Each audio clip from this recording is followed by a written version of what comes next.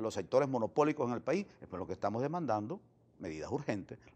sentimos la cola y sentimos los precios especulativos. Realmente es criminal lo que está haciendo los capitalistas contra los venezolanos. Y, eso no tiene nada que ver con errores en la política económica del gobierno, Oscar. Y eso es lo que le pedimos al gobierno.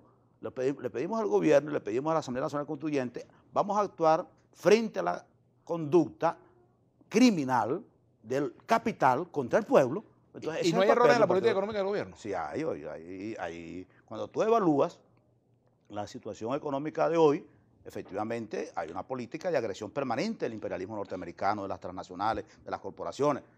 Obviamente, el impacto de esa, de esa política internacional y de la derecha interna sería menor si el desarrollo de las fuerzas productivas venezolanas estuviera en un nivel superior, si el desarrollo a nivel agrícola y pecuario fuera superior, como en su momento lo planteó Chávez, y se aprobaron recursos para los araos, para los araitos, para los fondos zamoranos, para los núcleos de desarrollo endógenos y obviamente aquí hay cuadros a los cuales si le hiciéramos una, un, análisis crítico y autocrítico tendrían que responder con qué pasó con esos recursos, con qué pasó con esos proyectos que el presidente Chávez impulsó y ellos que tenían la responsabilidad de adelantarnos no lo ¿Qué opinan de esos funcionarios de PDVSA, eh, ministros, viceministros que fueron detenidos y, de la electricidad de Caracas, de la electricidad de, de Corpolec, perdón, que fueron detenidos en España por una investigación por presunta corrupción.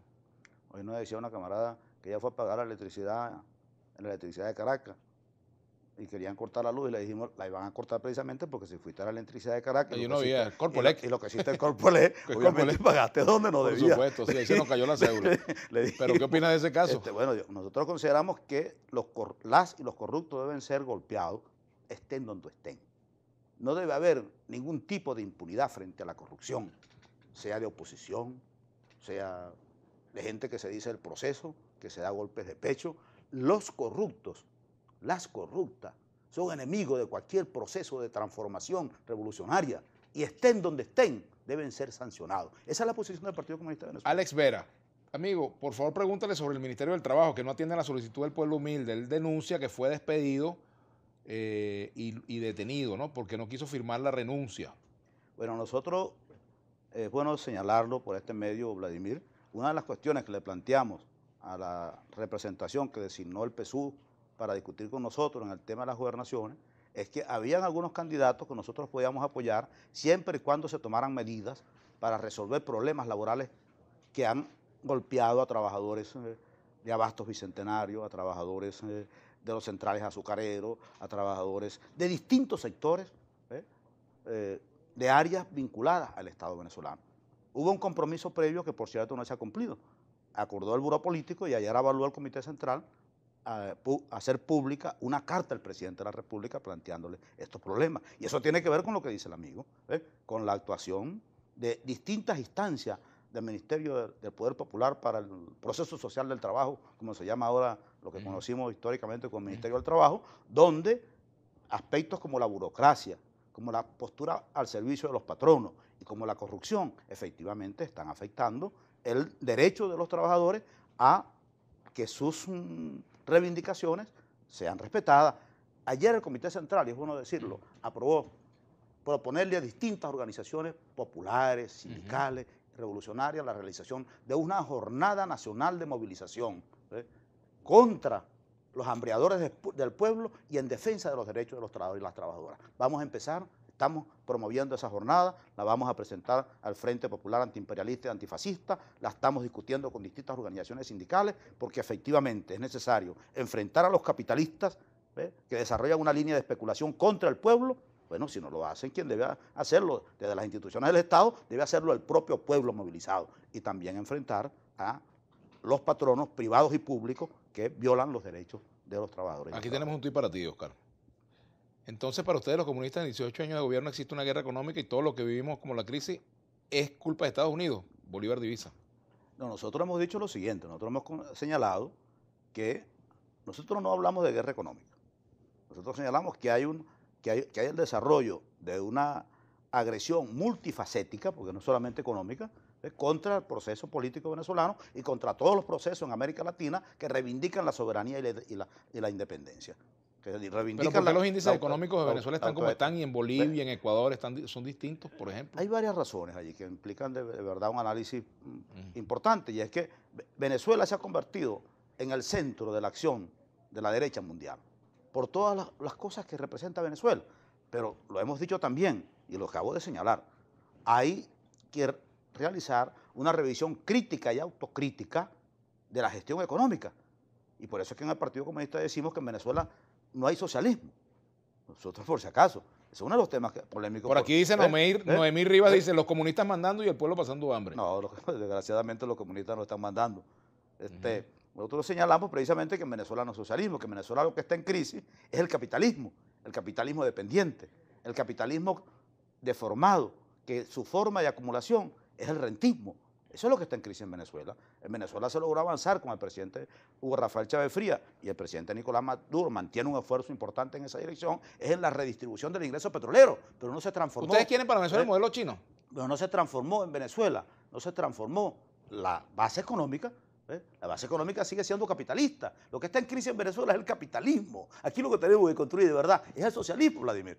¿Eh? Entonces es un gobierno capitalista. Si no es un gobierno comunista, es un gobierno capitalista. El, socia- el socialismo, bajo la, la concepción científica del materialismo dialéctico, del socialismo científico, es lo que hay que aplicar. Pero te pregunto, si no es un gobierno Venezuela. comunista, es un gobierno capitalista. No, este es, un, este es un gobierno, desde nuestra perspectiva, que se ha planteado la liberación nacional como un, como un proceso fundamental para lograr sacar a Venezuela de la dependencia, ¿eh? del atraso. Esa política de liberación nacional se ha conseguido, bueno, con la resistencia de quienes han dominado el continente y cualquier desarrollo soberano de nuestros países significa la pérdida de influencia de ellos y el control de nuestros recursos naturales. Rubén- Eso es parte de lo que está en juego. Rubén Eduardo pregunta, ¿cuándo es que van a salir esas leyes que supuestamente van a controlar esos precios o los precios? Eso es lo que nosotros estamos solicitándole también a la Asamblea Nacional Constituyente, que las ocho leyes que el presidente Nicolás Maduro les presentó para tratar el tema de la economía, bueno, aceleren su, su aprobación. Hablando de acelerar, Pepe Sánchez dice, perdimos la cuenta de cuántos motores fracasados tiene el gobierno. 18 años tomando medidas chimba. ¿Qué te puedo decir? Efectivamente, Lo que hay tú un- quieras decir. hay un co- hay un co- lo- eh, te puedo ratificar lo que estamos diciendo. Hay un conjunto de áreas, entre ellas en particular. O sea, hay, un, hay, una, hay un sector de la política económica que ha sido totalmente exitoso, que es la, todo lo que tiene que ver con la atención de los problemas sociales de nuestro pueblo. Ahora, esa atención de los problemas sociales de nuestro pueblo, que se ha sustentado en el tema del ingreso petrolero, ¿eh? es una política que, se debil- que tiene una debilidad ¿eh? si no logra desarrollar la fuerza Una pregunta, las fuerzas productivas Hablando internas, de eso, ¿eh? ¿ustedes reconocen no- que hay hambre en Venezuela, sí o no? ¿eh? Nosotros consideramos que hay una situación compleja, pero Ajá. cuando tú hablas de hambre en Venezuela, bueno, tendrías que determinar en qué franja de la población existe una situación de hambre. Pero el hambre, como tal, hay dificultades para la, para la adquisición de productos. Bueno, cuando uno ¿eh? ve gente comiendo ¿eh? la basura, por ejemplo, Este, ¿lo has visto? Está bien, pero eso lo hemos visto. No, sí. Sí, No, lo has visto. sí, lo he visto.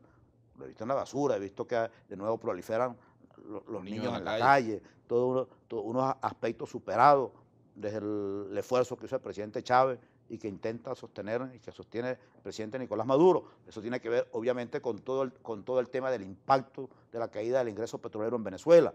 Y tiene que ver con el hecho de que al tú mantener una economía fundamentalmente dependiente del petróleo, que es lo que sigue existiendo en Venezuela, y no el desarrollo productivo interno, al impactar, al producirse la caída del ingreso petrolero, eso impacta en el resto de la economía. Ahora, eso significa que nosotros podamos levantar, como lo hace la derecha, el planteamiento de que en Venezuela hay una hambruna, hay una crisis alimentaria, hay una crisis, como diríamos, humanitaria, y que es necesario abrir las compuertas del país a la presencia de la intervención extranjera. No. Pero Eh, tú no estás de acuerdo eh, con que eh, permitan, por ejemplo, que lleguen medicina. Si hay alguien que está donando medicina, ¿por qué no dejar que pasen a Está Venezuela? bien, pero el el gobierno ha dicho que está Yo de no sé si acuerdo. tú tienes tu medicina completa, no, pero no, no, a el- mí me cuesta El conseguirla. que gobierno yo ha dicho que está de acuerdo, pero que está de acuerdo que se haga por los canales del gobierno, no por los canales de la derecha, no por las vías de los mecanismos que ha utilizado el imperialismo para la intervención, ¿eh? para intentar declarar eh, Estado fallido por, por, por esas vías que tú conoces como, como, como, como especialista en el área internacional, porque tú también te has, movido en esa área, que existe todos unos mecanismos internacionales que les permiten a los poderes fácticos, eh, que sirven a los intereses del gran capital, crear las condiciones para declarar situaciones que posibiliten la intervención posterior. El, el esfuerzo que ha hecho la Asamblea Nacional, no la constituyente, sino la Asamblea Nacional, hoy en manos de la, de, la oposición, ha sido ayudar a crear un expediente que facilite la intervención externa. Y si le cambia el nombre, quítalo de ayuda, pero por ejemplo, porque mucha gente no entiende que, que, haya ofertas de, para dar medicinas, personas que necesitan medicina, tratamiento para el cáncer, tratamiento para la hipertensión, tratamiento para riñones, para etcétera. Y esas medicinas no pueden llegar. Mire, Vladimir, pero es que antes de que la, Asamblea Nacional, dirigida por la oposición, este, eh, entrara en una situación de desacato, se hizo una discusión de estos temas. incluso se propuso en un acuerdo que ellos plantearon para declarar la crisis humanitaria y la crisis general en salud en Venezuela, se propuso, cambiemos esos términos y establezcamos criterios si de verdad eso es lo que les interesa, establezcamos unos criterios que permitan que, recursos de ese tipo lleguen al país, pero no como parte del plan de la derecha mundial, del plan del imperialismo norteamericano para golpear la soberanía de nuestro país. sobre esos aspectos se ha dado discusión, pero como la derecha lo que quiere es crear un expediente que pueda permitir declarar a Venezuela como un Estado fallido, no le interesa construir acuerdos que faciliten de verdad la solución de problemas de nuestro pueblo, sino de crear situaciones de armar un expediente que le permita la intervención extranjera, como la vienen pidiendo desde hace mucho tiempo. Oscar, se está hablando de que posiblemente las presidenciales pudieran adelantarla para marzo del año que viene. ¿Ha hecho mérito el presidente Maduro para ser reelecto o ustedes creen que debe haber un relevo? Nosotros consideramos que ese es un tema que debe debatirse. Sí, creemos que es un tema que debe debatirse. ¿Pero se inclinan no se inclinan? No, creemos que consideramos que es un tema que debe debatirse. Ok, bueno, muchas gracias, Oscar Figuera. Gracias por habernos acompañado, secretario general del Partido Comunista de Venezuela. Eh, mañana tendremos a Julio Borges, secretario, bueno, coordinador general de Primera Justicia. Ya será entonces mañana cuando estaremos nuevamente en Vladimir la Una y ahora quédense con el hombre de la brújula internacional, Julio César Pineda.